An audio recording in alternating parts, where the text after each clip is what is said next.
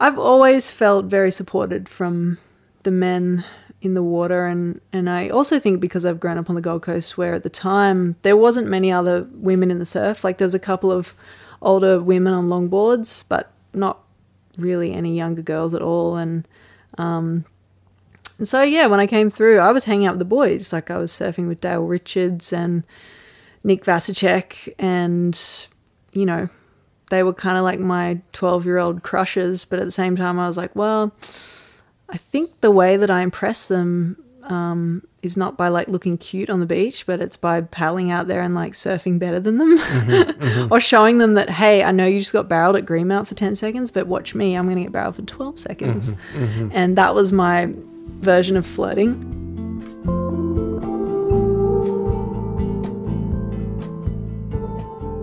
That was Stephanie Gilmore. You're listening to Soundings, an audio series centered on all things surf brought to you by the Surfer's Journal. I'm your host, Jamie Brisick. The Surfer's Journal is a reader supported publication. Visit surfersjournal.com to subscribe.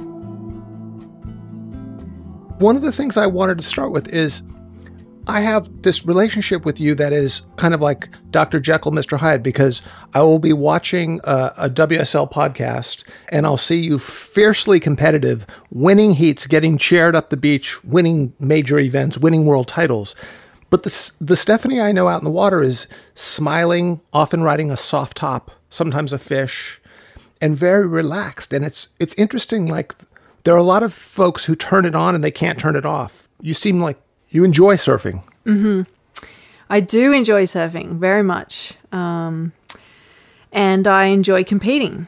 And I enjoy having the balance of like the two worlds where I can literally be this like carefree mermaid and then also like switch into almost like acting, you know, you sort of switch into a character. And for myself, because I am so um, relaxed I have to switch into a mode that's more fierce, that's more assertive, that's more like fuck you to my opponents because I don't, it's not like my natural um, character to be like that. I think in the beginning of my career, it was, it was, um, yeah, I was just kind of easily and, and just able to switch it on like no problems because I really hated losing. And then over the years, I've sort of, I've definitely lost a little bit of it. Like it's a bit harder to switch on that that character, but um, or that intention when I'm in a heat, but it's it's still there for mm-hmm, sure. Mm-hmm. It just takes to like lose one heat, and then I'm like, oh my god, that mm. sucks, and uh, I grip my teeth, and I'm like, oh wait, there it is, it's still there. Uh, no, it's so interesting that because I've uh, I've often thought sometimes like growing as an individual can actually dull the competitive drive, the killer instinct, um, mm-hmm. and and and and and hence there's like a reason why a lot of the most fiery competitors are sort of younger because they they haven't uh, gotten married, had families, etc. And it's almost like the more singular you keep your focus, the more that that competitive drive can be. And it's it's like it's great in terms of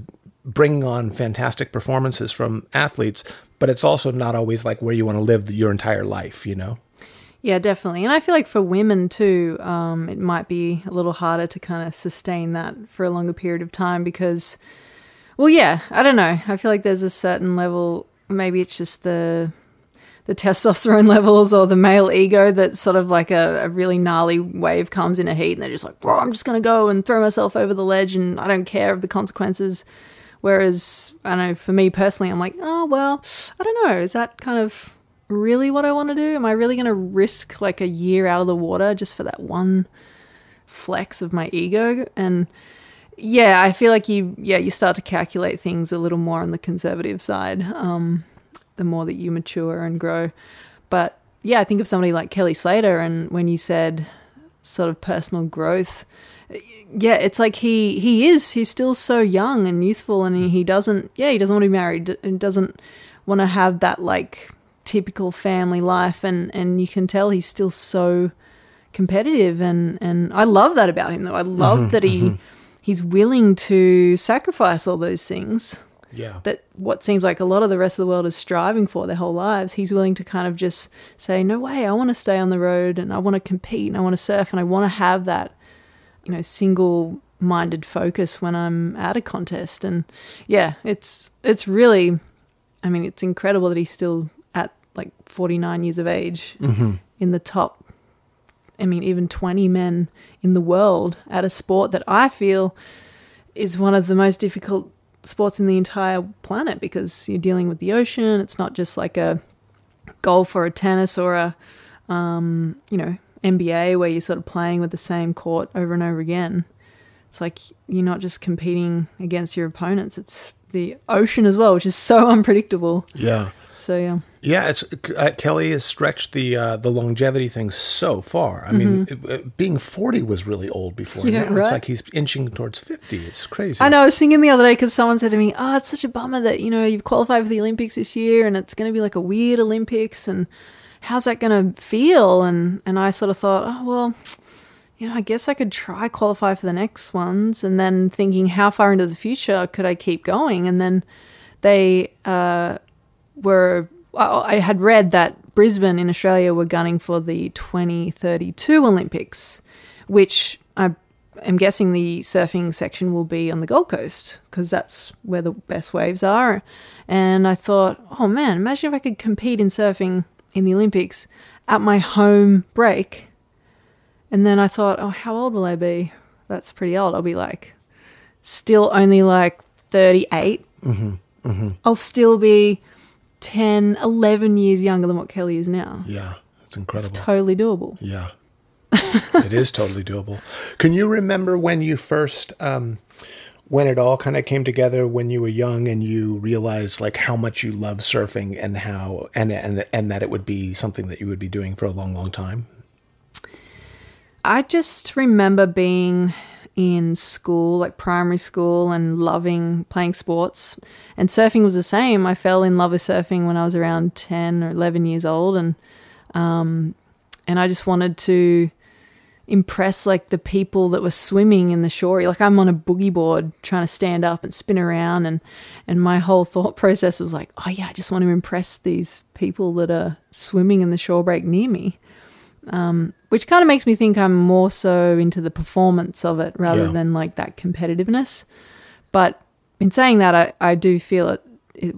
It's like that competitiveness with myself. Like, can you be the best? Can you perform the best, sort of thing. But I do recall being around, yeah, 15, 16, and seeing, uh, you know, after winning a couple of trophies in junior events, I remember watching a world tour event at Snapper Rocks, and um, I remember watching it and thinking, man, I can do that. Like, mm-hmm. give me a shot into that competition, mm-hmm. and I can beat these these women. I know they're my heroes and my idols, but mm-hmm. I can do that. And then you did that, right? In Mm-hmm. 2005 you you were 17 if I've got it right. Yep. Roxy Pro wild card won the entire event. Yep. How'd so that feel? It was great. I mean, my whole motivation was just to get some more days off school. That's all I wanted. I was like, sweet, the more heats you make, the, the more time you get off school. And uh, yeah, so that was really my motivation. And man, it was good enough because it took me all the way to the final. And I, I was able to beat um, Megan Abubo in the final. And uh, I was so confident though. It's funny, like I feel like now in my career, I'm looking back in my earlier years, trying to relearn what I already knew back then. Uh-huh.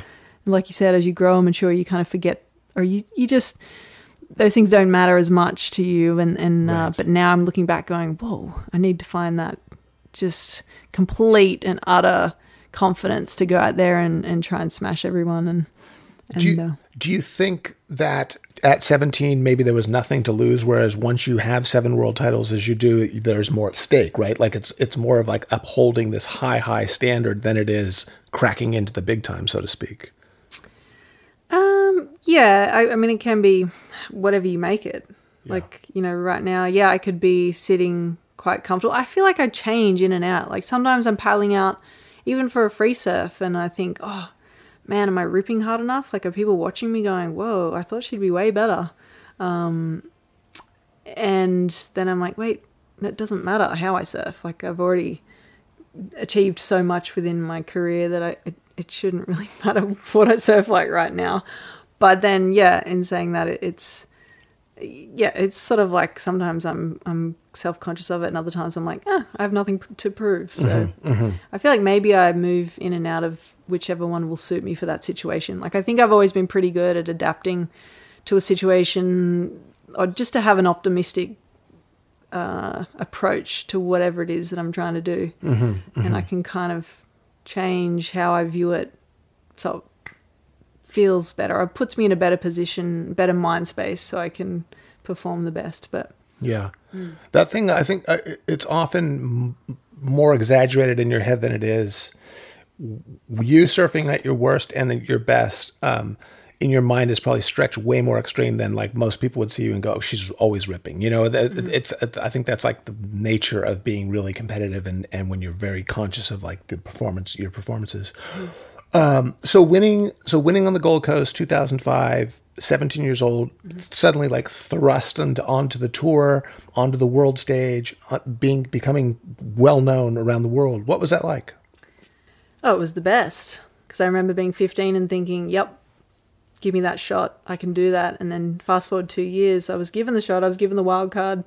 Well, I had to win the trials, but I got the wild card into the main event. And uh, yeah, and then there I was. I got the trophy. I beat all my heroes. I was like, ah, that was just exactly like I'd already been there before. Two years prior, I'd sat on the beach. I'd, I'd thought about the whole process. And then it, it happened. And I was like, oh, okay, can't be that hard then. So I want to be a world champ what's the next step? You know, I wanted to quit school and go on tour, and my parents were like, hell no, you're staying at school. so I completed high school um, and then went on the World Qualifying Series at 18 and qualified straight away. And then, yeah, I just remember getting onto the the ASP tour at the time and thinking, it's so funny to me that people want, or they aim to be like, oh, I'd love to be in the top 10 in my first year on tour. I'd love to be top five. And I used to be like, well, why don't you just go for number one? Mm-hmm, mm-hmm. Isn't that what we're all here for? Yeah. I was, that was really the moment that I understood what manifesting was. Mm-hmm. Mm-hmm. How'd you learn to do that, or was it just a natural thing? It's, it was just an intuitive sort of feeling that I had to put myself in that situation. I had to put myself in Sam Cornish's, Cornish's jersey, and I had to be on that wave. And oh, that girl paddled over that wave. She blew it. I would have taken that wave. That was an eight point ride. You know, it's mm-hmm. like, and I yeah, I don't think I'd ever. No, I'd never trained in that. No way. That was just my um, youthful confidence. You know, I had nothing to lose, and that's how I would do it. You Yeah. know, and then as time went on, I had met a woman, um, Jan Carton was her name, and she worked a lot with Mick Fanning through his injury and coming back from that. And she taught me a lot about yeah visualizing and and just using little um, like ma- mantras, just kind of things that took you out of the stresses and brought you back to what you can control, which is just yourself and your thoughts. Like there's one thing in the whole world that every single person has control over, and it's their own thoughts. Yeah. And so it was like, okay, once you understand that, you can really make any situation, you know, you can survive any situation, you can make the best of any situation. And um, yeah, she she taught me a lot about that stuff and and just being playful with it. You know, like in those moments where you're so nervous, it's a big moment. Can you win the title? Oh my goodness! And she taught me to sort of think about something that made me laugh. You know, going into those happy places or whatever it is. And yeah, I've never forgotten the story of Ross Clarke-Jones saying, you know, he's eating shit on a 60 foot wave and he goes to his happy place, which is like a nightclub, um, you know, in Berlin or wherever he is, and he's like dancing and there's like hot chicks everywhere and he's having a great time. And then he comes up from his wipeout and it's like, oh, wait, that ended too soon. Yeah, I remember that in that movie. That was so good. and I just love stuff like that. But yeah, it, it's funny that you know, I think as athletes we, it's expected to learn this sort of these techniques, but every human being can use them. You know, no matter what your day to day life is, and no matter what your job is, you can use these techniques to help you get through any situation. Whether it's just giving a presentation to a you know a couple of people going for a job interview Yeah. um, you know, whatever it may be, you can use these techniques and, and yeah, it's something simple, just repeating like a, a positive mantra to yourself.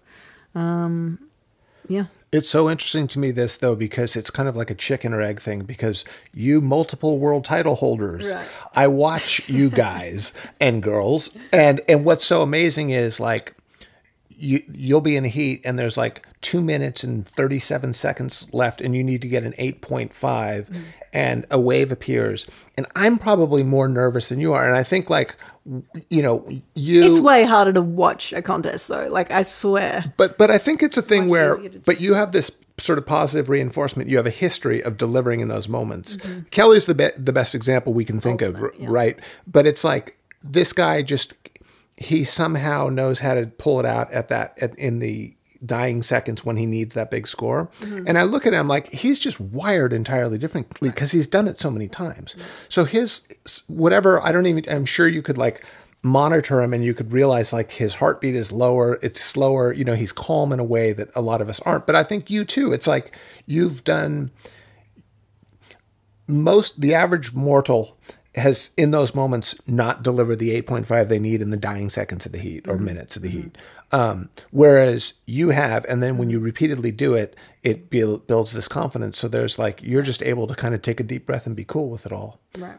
Um, and but yeah, I, I really think like whether you tapped into the cosmos or whatever it is, uh, it still comes down to a positive conversation you had, you know, like Yeah. positive language to yourself and just having some kind of faith in the universe. Sure.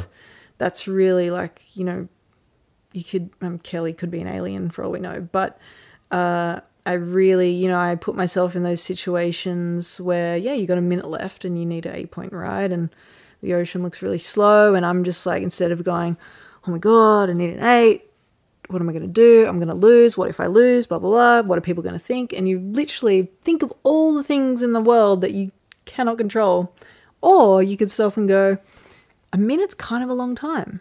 What it takes like five seconds to paddle into a wave. I've actually got quite a long time mm-hmm. to catch a wave if I can move around. You know, what am I feeling? Like, how cool would that be? Imagine if I got the score in the end, and and then you you know I've actually had a few quite a few heats in my career where I've paddled out and there's been a few barrels on offer, but I you know not many people had got them or and I've just paddled out going oh, I'd really love to get a barrel this heat like how great would that be and I've envisioned it like paddled in. This is while I'm in the heat. I'm probably mm-hmm. doing cutbacks on a wave thinking about oh I really would love to get a barrel because I know everyone will love it. The mm-hmm. crowd will love it. Mm-hmm. And then somehow a barrel will just pop up. Yeah. and it really does go back to that like just yeah manifesting. And, and i think kelly probably same thing you know he's he's in his heat and he needs a score and he's like oh, i might just follow these dolphins up the point because the whole time he's actually thinking about the nine point ride that he really wants. Yeah and uh There's also something of um, of being sort of fiercely determined, having done all the work that leads up to it, and then a certain level of letting go. And speaking of which, there was that great documentary about Kelly, and I want to say it was his seventh world title, but it was really him talking about he got this world title without really trying too hard. Mm-hmm. And and I do think this goes for just about everything, but like there's a level, uh, there's definitely a you can be too tightly wound, and For it can sure. kill the magic for sure. yeah like you can get it you see a child with a cute fluffy dog and it it loves it so much that it's like squeezing and its eyeballs are like popping out and you're like oh my god stop like i know you love the dog but you're gonna kill the dog Yeah. and i think i've been maybe more so on the like i've sort of let go too much more recently in my career where yeah i need to apply more pressure now i Yeah. need to be have better stronger intentions in what i'm doing and and have that like competitive fire ignite in every single heat you know not just think i can just kind of skip through and right. win Did those first world titles you had four in a row, if I have that right? Mm-hmm. Were they? um Did they feel like they were hard work? Did they feel like, oh, this is actually like easier than I thought it was going to be? Mm-hmm. Well, I think just when you're at that age and you're so passionate about what you're doing and you you're investing much more into it than what you you realize. Mm-hmm. You know, much more time and energy spent in the water, uh, thinking about it. You know, on the road, but because you're having so much fun and it's also new and exciting. Um, you know, you don't even think that it's taking up much of your time or if it's that hard to do. But looking back, of course, I was so invested into it. And yeah, I do I take my losses really well, but you know, when I really think back to those earlier years, if I lost one heat or one contest, I'd literally go and lock myself in my room and have a sulk for mm-hmm. you know the rest of the day because I was pissed off that I didn't win, mm-hmm. and um, and so they're all great lessons, mm-hmm. of course, but um, but yeah, I, I was I didn't really know what the difference was because people would say to me, "So which world title's been the best, or what what do you which one have you liked the most?" And I just didn't know because I just hadn't lost, mm-hmm. so I'd won the world title every year for the first four years, and and uh, I thought to myself, oh, I wonder if you could just keep going. Like, um, is it possible to just win everything your entire career and then retire? Mm-hmm.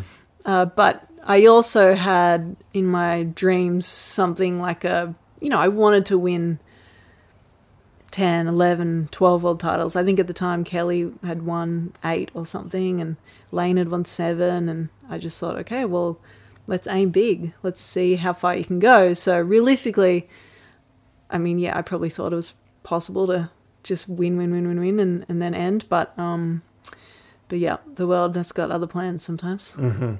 When you're at the top, where are you drawing your inspiration? Like the typical sort of arc is you're young, you look up to people, you have heroes. In the case of Kelly, I know like Tom Curren and Martin Potter were big inspirations to him. Mm-hmm uh, and then you get to the top. Are you looking? Are you looking across at your fellow competitors? Are you looking over towards someone like Kelly? Like, are you looking at the men? How how where were you getting the inspiration to keep pushing your performances? Once again, I think it was just purely that um, the praise that you get when you win. You know, it's such a cool feeling when you're being celebrated. Um, yeah, I don't know. I, I definitely looked toward the men though, for uh-huh. sure. Like uh-huh. watching Kelly, um, huge inspiration. Mick Fanning at the time. Mick was, we won. Uh, so when I actually won that event as a wildcard in 2005, Mick had come back from his hamstring injury to what I mean, they basically said, "Yo, you're not going to surf again." And he came back and he won that event. So we won at the same time, and that was when you know he sort of took me in under his wing. I was sponsored by Rip Curl at the time, and it was kind of like, you know, I probably had as much uh, hair on my forehead as he did, and we were just like, you know, we kind of had the same um, just forehand vibe, and mm-hmm. and then yeah, so I definitely looked up to Mick a lot, and um, Joel Parkinson. Mm-hmm. I loved that they were all so competitive within each other. Yep. And I got to watch them every day at my home break. I could paddle out and just watch these guys surf um, better than every single person that I'd ever seen before. And uh, but yeah, on tour, definitely Kelly. He mm-hmm, really mm-hmm. he just showed everyone that like there's really no limit to what you can do. Yep. What about when you were younger, before you'd gotten on tour? Were, they, were you looking to the women, the men, or both? I think the first poster that I had on my wall, I I think it was a Coup de Lions, um, Sam what was his last name? Sam Carrier. Sam Carrier, yeah, and he, I think he like towed into a wave at Chopu or he surfed a wave. It was just a big chunky left, and I used to stare at it and just be like, oh my goodness, that wave's so scary. But at the same time, it was the only poster that was available. There wasn't really many women's posters available until I, you know, got more into 15, 16 and and I had got my hands on some Roxy imagery and just those the crossing boat trips where you know it's Kate Skarratt, Chelsea Hedges, Sofia Mulanovich, Veronica Kay, and of course Lisa Andersen, and they were all hanging out with the boys on boat trips, and it was just a dream. You know the the way that Jeff Hornbaker and and those photographers. Jim Russi, the way that they'd photographed, and Sonny Miller, the way they'd photographed and captured these images, just it took you into that world of that like adventure, the spirit of adventure when you're traveling and searching for waves and you hang out with your best friends. And I just, I wasn't even thinking about like, oh, Lisa Andersen, she's a four times world champion at all. I was more just thinking, wow, she's so beautiful to watch on a wave. And, and she's just kind of mysterious and, you know, you didn't really know much about her. And, but she was like beautiful, surf so good, and and she was a world champ as well. It was kind of mm-hmm, like this mm-hmm. mix of everything. So yeah, I had two posters that there was one of Chelsea just doing a really good backhand snap. I think it was in Hawaii somewhere. And then Sofia Mulanovich, she was also, I think it was like Rocky Point. She was doing a big forehand, like grab rail reverse. It was a sequence. And yeah, I used to stare at that on the wall and, and just say, yeah, I want, I want to do that. I want to be a part of that. Mm-hmm, and yeah, it wasn't even really the world titles that I was thinking of. It was just that I wanted to be in those images with those girls. Yeah. When you were coming up, did you in the lineups? Okay, so you were at, at Kingscliff, Murwillumbah, that mm-hmm. area, so northern New South Wales and the Gold Coast as well. Did you um, did you encounter sexism in the water? Like being a girl among at, at that time, I think like it, there's been there have been so many more women in the lineup, and every year there's more. But when you were coming up, when you were young, was it uh, was it hard? Not really. Um, you know, and I, I am certain that a lot of women were, you know, they were at the bad end of, of some angry men in the lineup. And I still see, you know, a lot of aggression from guys in the lineup. And I think it's pretty comedy. I mean, I was out first point the other day and I saw two guys like screaming profanities at each other over like a two foot wave. And I mean, that, that in itself is laughable because it's like, wow, there's people that don't even know how to swim. You guys are out here in the ocean having a wonderful time, and here we are still managing to scream at each other. Um, which, yeah, I've always thought was quite funny. And then, I don't know, I guess growing up at Snapper on the Gold Coast, there's just so many surfers. You kind of learn how to deal with crowds and learn how to control your temper and emotions, um, keep things in check. But I've always felt very supported from the men in the water and and I also think because I've grown up on the Gold Coast where at the time there wasn't many other women in the surf like there's a couple of older women on longboards but not really any younger girls at all. And um and so yeah when I came through I was hanging out with the boys. Like I was surfing with Dale Richards and Nick Vasicek and you know they were kind of like my 12 year old crushes, but at the same time, I was like, well, I think the way that I impress them um, is not by like looking cute on the beach, but it's by paddling out there and like surfing better than them mm-hmm, mm-hmm. or showing them that, hey, I know you just got barreled at Greenmount for 10 seconds, but watch me, I'm going to get barreled for 12 seconds. Mm-hmm, and that was my version of flirting.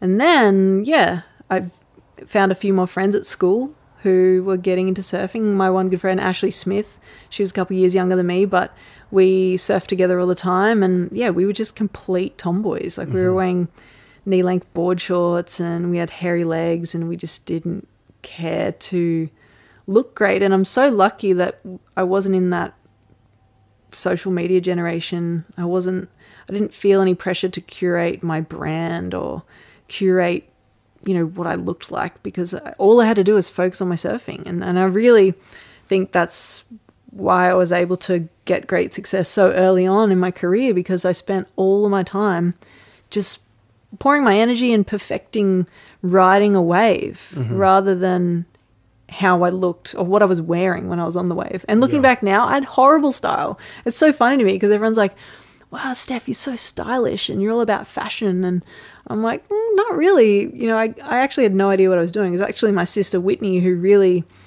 helped me uh, learn about style on the land because I clearly had terrible style. I was in like white board shorts and, you know, some probably bad swimsuit top, but and like zinc on half of my face, and I had bad neck tan lines, and you know, lived in my spring suit. Yeah, I really didn't look that great, but my style in the surf obviously um, was where all that attention was going to. So, but yeah, pretty funny looking back now. Um, I think all the the guys appreciated that. They they wanted to support me on my journey of getting better as a surfer.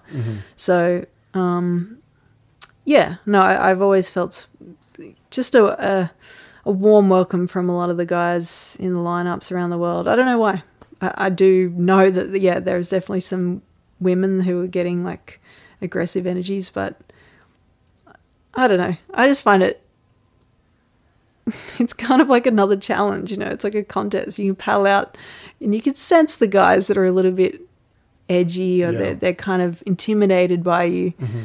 Or they're like, oh, here's someone else that's going to take a wave, and and um and I find it fun to kind of be like, yeah, I am going to take your wave, and I'm going to surf it better than you will. So, you know, love Yeah. me or hate me. Yeah. And you're going to do it with a smile on Exactly, your I'm doing it with a smile on my face. Maybe I got that from my dad. My my dad Jeff, he is, um, yeah, I think he's almost sixty eight, and he just drops in on everyone at Snapper Rocks, and he does it with the biggest smile on his face. face. Uh-huh. And he's a goofy footer, so he will take off wide of the rock, and he'll sort of ride out wide, and and he he has eyes on the other surfer that he's dropped in on, so he's kind of watching them the whole time.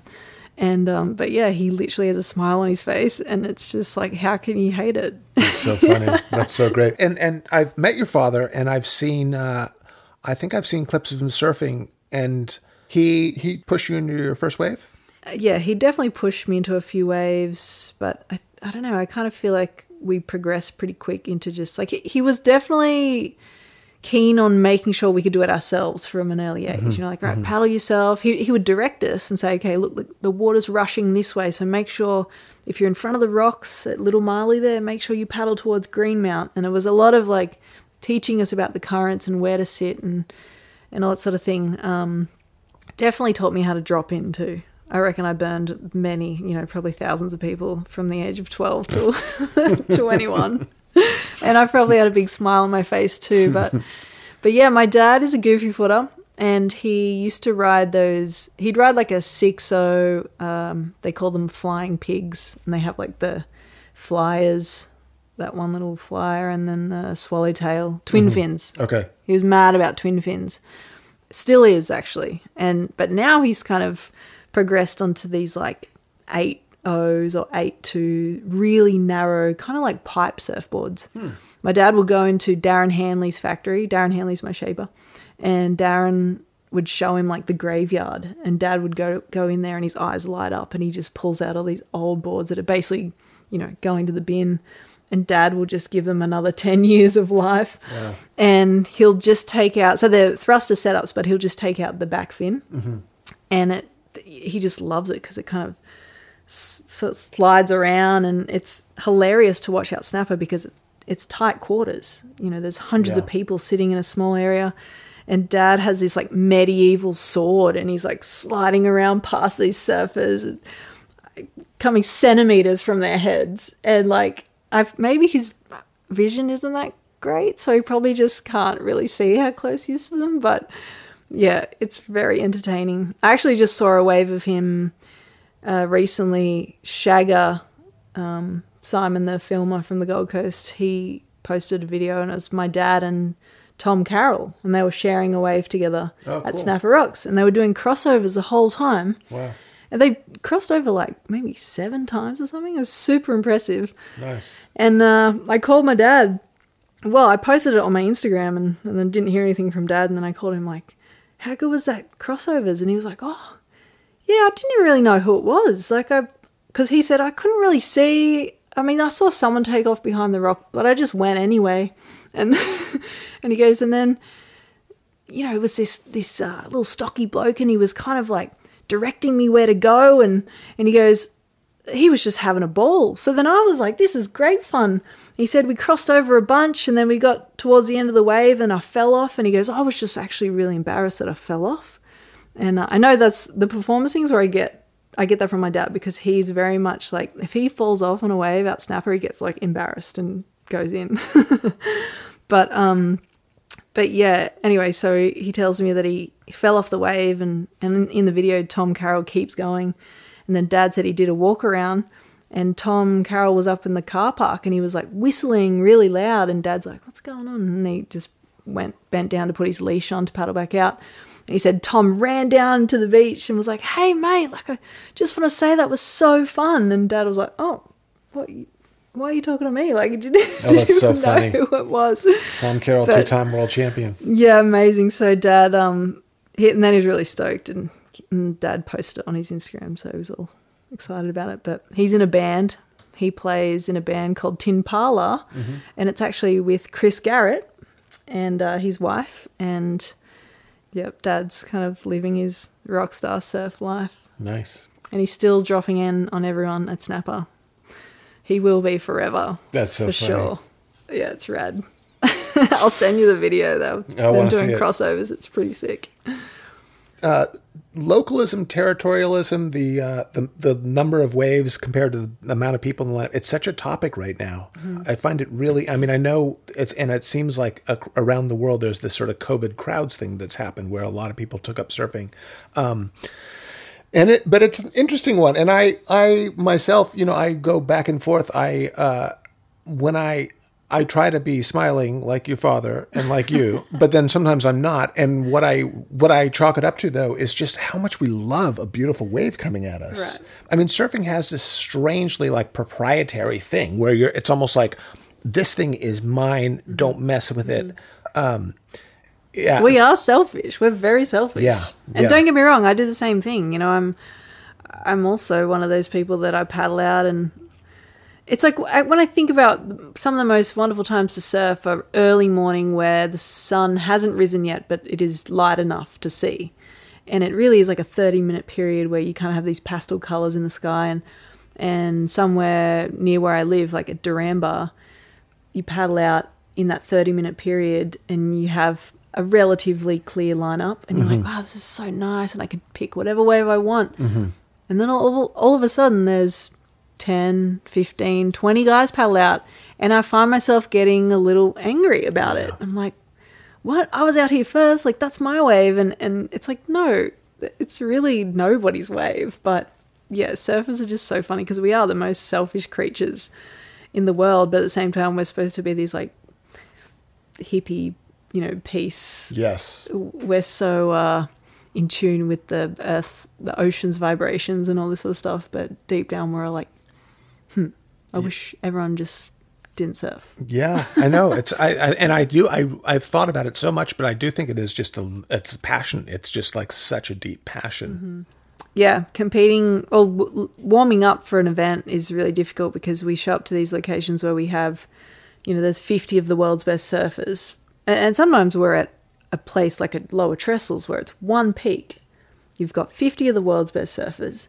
And then you've got 50 of the in- most intense locals Who just want to get near you and who just you. want to hang out with Yeah. us and then you've got like 50 just kids or fans that are literally just like oh i probably won't catch a wave but i just want to go sit out there and be near john john and see him catch a wave in real life which i totally don't blame them but yeah it's really difficult because you're like oh my god imagine roger federer trying to warm up for wimbledon and he has like a hundred random people standing on the court and he just has to like dodge them and try and like get his practice in like that. And it's very frustrating and those pre-contest warm-ups can get pretty heated between a lot of the competitors because it's like the guys are dropping in on the girls and the girls are dropping in on the guys and it's just like you know you find a lot of the the more veteran surfers don't even do the the pre like the early morning pre-contest warm-ups because it's just just messes with your head How did the pandemic go, both in the surf and in your in your head? Let's say. We were so spoiled in Australia. We had great surf. We were, yes, in Victoria, no. The Victorians had a really rough trot. They were locked in their homes for many months, and that I can't imagine the the mental toll that took on people. You know, I think suicide rates were through the roof, mm-hmm. and there was like not one, or maybe one COVID death. You know, we only Wow. had like ten cases of ac- cases of COVID in the whole country. Um, so yeah, people are a little torn between like the decisions the Australian government made in terms of you know trying to keep everything under control, but also like now the rest of the world seems like it's getting on with it, and Australia's still locked down because we've got two cases. So yeah, it's a weird situation, but we had a really nice time at home. Didn't have to go to an airport. Didn't have to pack my bags. I was, you know, it was kind of the break that I really had wanted Yeah. for a long time. Right. Because you've been on tour. loved it. You've been on tour 15 years or Yep, so. 14, 15 years, yeah. Did you um, did you have that? Have you had that feeling um, where you the, you know that expression you can't go home again? Like you've been on the road and you've experienced all these things, and then Australia just takes on a different look in your mind, I suppose. Um, Yeah, what- I fell in love with Australia. yeah, Fell in love with the fact that we constantly are taking off to all these other places, but there's so much to see and do just you know even just on the east coast and South Australia and West Australia. There's just so much surf and so many wonderful places to go and experience. And I'm always like, so I really want to go to New York. See ya. Yeah. So um, being sort of forced to stay put there really made me think about, oh wow, I want to spend time here. I want to actually surf all the waves that we have in Australia. Um, even though a lot of them are like scary slabs, but Where do you consider home base when you're not? Is it Malibu? Is it? Uh, definitely Australia. Yeah. yeah, Rainbow Bay. Okay. Um, yeah, that's that's pretty much my uh, home spot, Mm-hmm. and it's good. Great waves. It's kind of getting overdone with developers now. I mean, most people are moving out of cities, and I'm sure as you experienced here in Malibu, same thing. Everyone's like, a lockdown again Yeah. in my little apartment in the city? Hell no. Yeah. I'm gonna buy a place. You know, I want land. I need space. I'm gonna. I need to live by the beach, and so it's the same in Australia. Everyone is getting up and out of Melbourne. They're leaving Sydney. They all want to live on the coast. They want to live in warmer weather, and um, you know, there's a lot of Sydney developers that are just coming up to Rainbow Bay and just basically because it's a lot cheaper than Sydney, turning it into Surfers Paradise, Yeah. which it was the Surfers Paradise. yes. Now it's Surfers Without Paradise with four the- times as many people in the water. um, is there a moment that you can think of in your career that that is like the ultimate highlight, like what, whether it's competitive or whether it's uh, a free surf? A highlight, I guess. Yeah. Um. Uh, yeah. I mean, of course, so many competitive highlights. Winning my first world title. Um, maybe winning the seventh. Like to to finally achieve that moment of equaling Layne Beachley. Yeah. You know, Layne really paved the way for us in terms of being that fierce competitor that just wants to win at all costs and you know she's going to do it her way and she doesn't care what people think about her. She's just going to do it. And um and i think she won six back to back like i don't even think kelly did that. And yeah she i mean i wanted to do that for sure. I was like yeah i could win seven sure. Let's go for 8 and so that's what i'm trying to do now. But um there's moments that i just will never forget in my life, and, and they are the ones like I traveled to um, the British Virgin Islands um, just before the pandemic, so like January of 2020, and um, yeah, and I was surfing this fun little wave, just a beach break with a few people, and this young girl paddled out. She was a local girl. She must have been about nine or ten years old, and she just she had no idea, but she had all the confidence in the world and she's paddled out the back and she's just sitting there with us and on who knows whose board it is and she's just like floating around.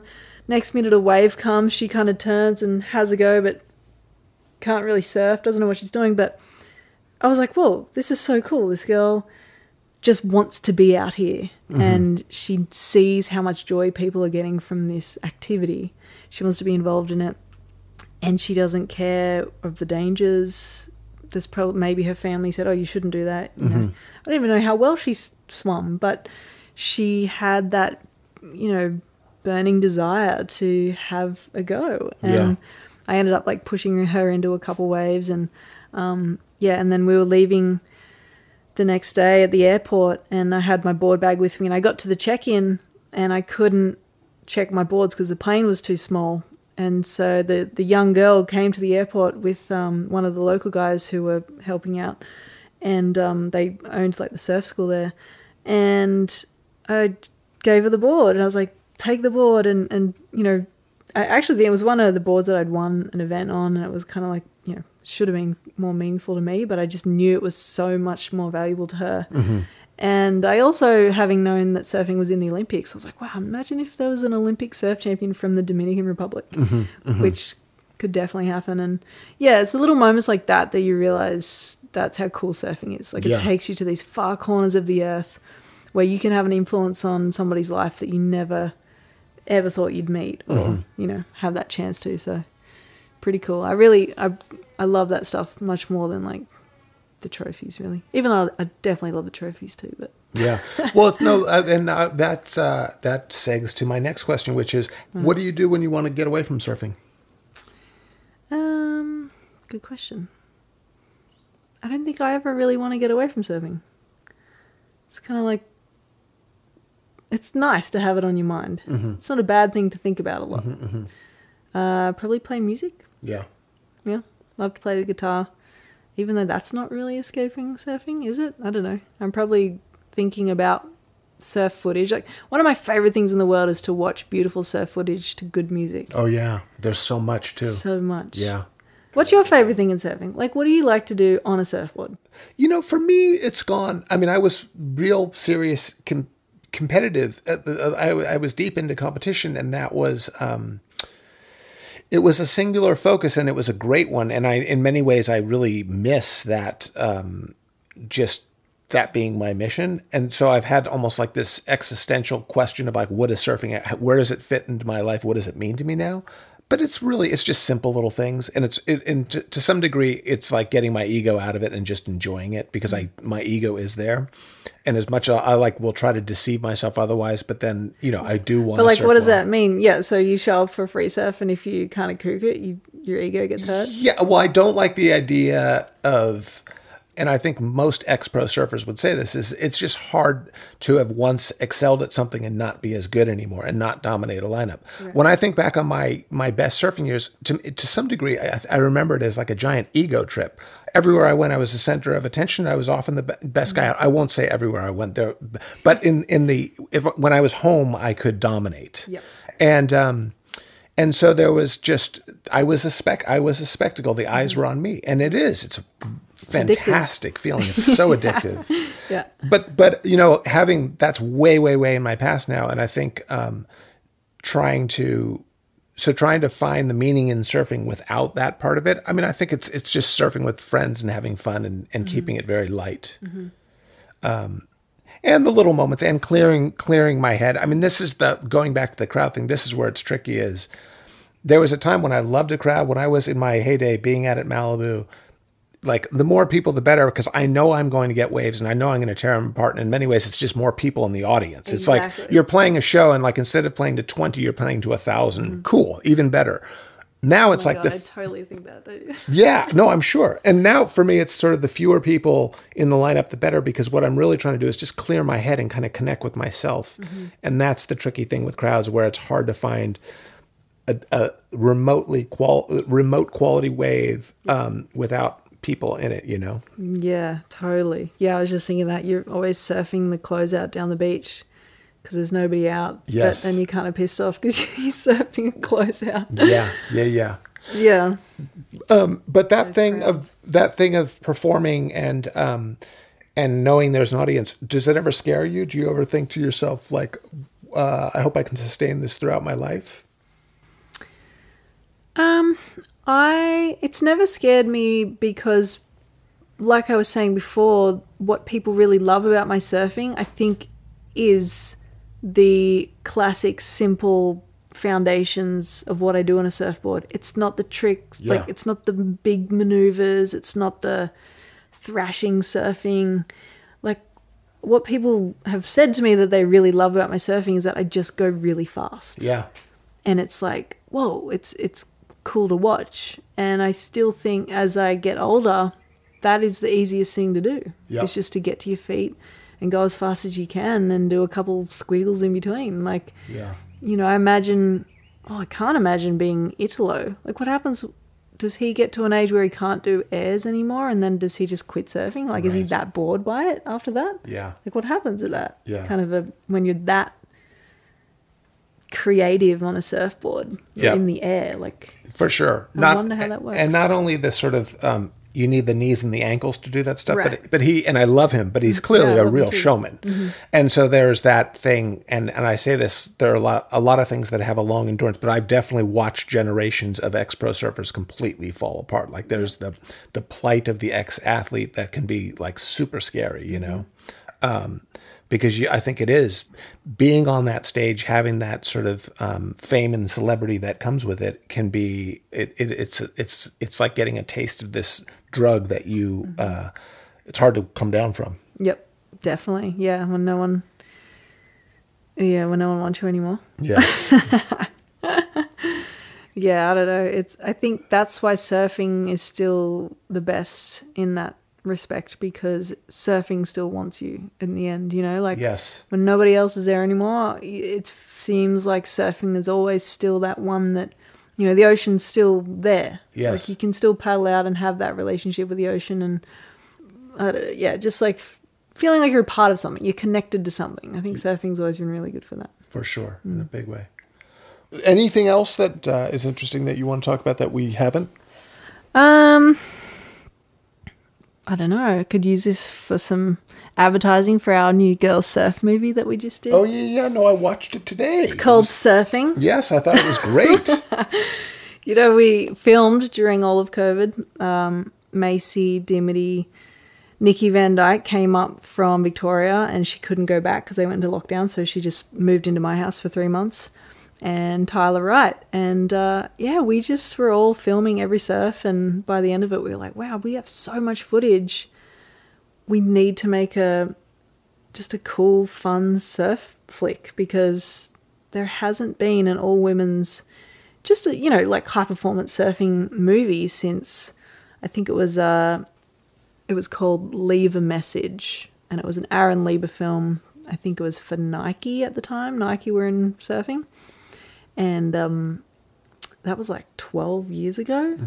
So we were like, how insane is that? Like we are watching men's surf movies. It's just every day there's a new movie that comes out. So much content. And it was funny when we were making this film, Dan Scott, he filmed all of it and, and then we had Ava Warbrick, she came along and did um, filmed a bunch of Super 8 and and uh, we just wanted to kind of paint the picture of being stuck in a bubble in Australia where the waves are pumping and and we were, you know, driving across Queensland New South Wales border every day and you had to have a pass to get across and stuff. But yeah, we um making it I got all self conscious because I was like, oh, you know, there's not there's no airs or we're not the waves aren't like massive and is it good enough? Should we make a movie or like I don't know, are we going to get torn to pieces because it's not, you know, we're not doing giant mute grab stale fish mm-hmm. air reverse madness and and then I stopped and thought about all my favorite films when I was a young girl and it was purely just a bunch of girls surfing together, two foot waves, two to four foot waves, having a great time. Mm-hmm. And that was all I needed to remind myself that that's what surfing is yeah. for the majority of people in the world. Yeah. And that's what they want to see because all we really watch now is like, you know, Russell Bierke taking off on a psycho wave or Nathan Florence pulling into huge Porto Escondido pits. And it's like, okay, that's obviously so incredible to watch, but I just want to watch something that makes me want to go surfing. Yeah. I had that experience at the very end. There's the credit sequence Mm-hmm. and there's the um, We're all in the soft tops. yes, and everyone rides a wave together. Yeah. And it was what was so nice is it wasn't some big moment. It was a it was a subtle moment, a quiet moment, and uh, and I love the way the camera just sort of hangs there at the end, and you sort of feel like falling off the mm. board, and then the next, and then I think a dude rides by on the wa- next wave, and you just you're you're kind of bobbing in the lineup. Mm. It was so, it was really really nice, and mm-hmm. it was definitely not. That would often like be on the cutting room floor from a lot of films, you know. Right. And that was the same thing. We were like, oh, we should call it Lux or, you know, that we were trying to come up with all these fancy names. And we're like, look, guys, we're not those sorts of films. Let's just call it what it is. It's surfing. Mm-hmm. And, um, you know, because we called it surfing, it may never be found on YouTube ever because you type in surfing and it's like, it's a, a billion videos show up of other things of surfing before ours shows up. But I don't even care. Thank you, Steph, and I hope to see you in the water soon. I'm sure I will. Thanks, Jamie. Thanks for having me. And yeah, I'd love to uh, run some heat drills with you. And we're gonna get you a cover shot. Amazing. That's the whole reason I said yes to this podcast. if you don't give me a cover, I won't approve the podcast. Yeah, exactly.